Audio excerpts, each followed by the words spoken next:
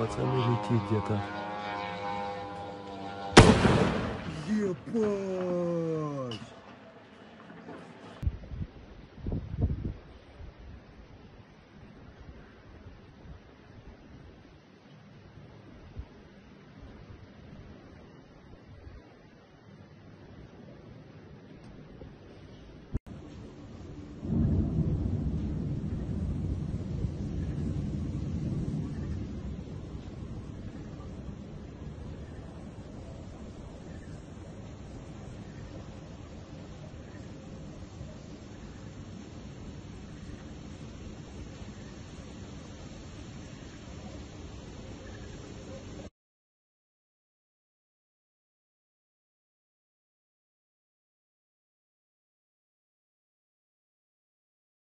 Нас куда-то в нефтебазу, походу.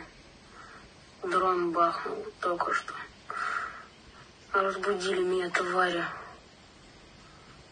Я просто лежу, сплю и слышу, как бахает что-то. У меня Мразь! Охуеть!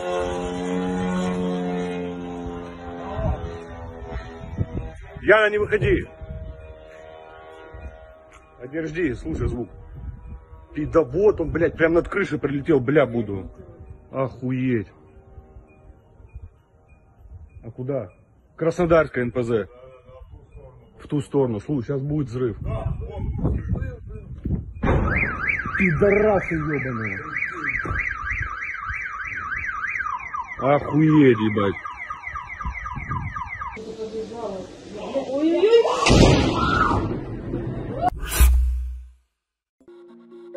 Su 57 versus F 16. US pilot assesses the Russian fighter's chances in combat.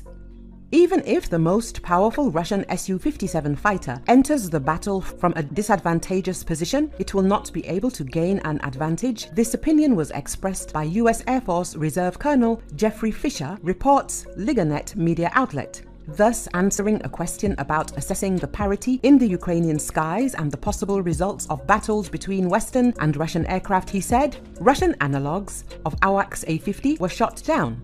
Russian pilots are uncomfortable flying. There are not enough pictures in the air.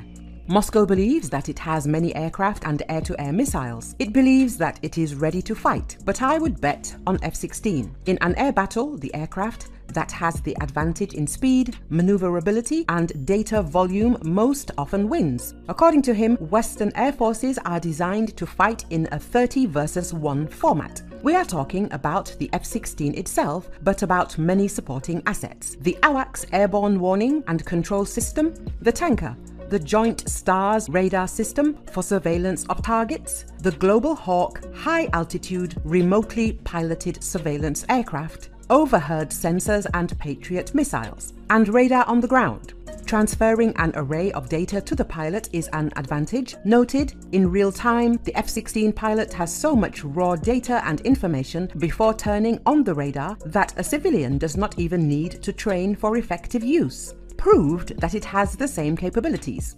Recall that it was previously reported that Ukrainian pilots are currently undergoing training to fly Western F 16 fighters in France. The French Aerospace Forces have committed to certifying the training of 26 Ukrainians within two years. Ukrainian pilots are being trained in the hangars of an airbase in southwestern France, the name of which has not been disclosed for security reasons. President Vladimir Zelensky said that F 16 fighters from Denmark would arrive in Ukraine in the near future.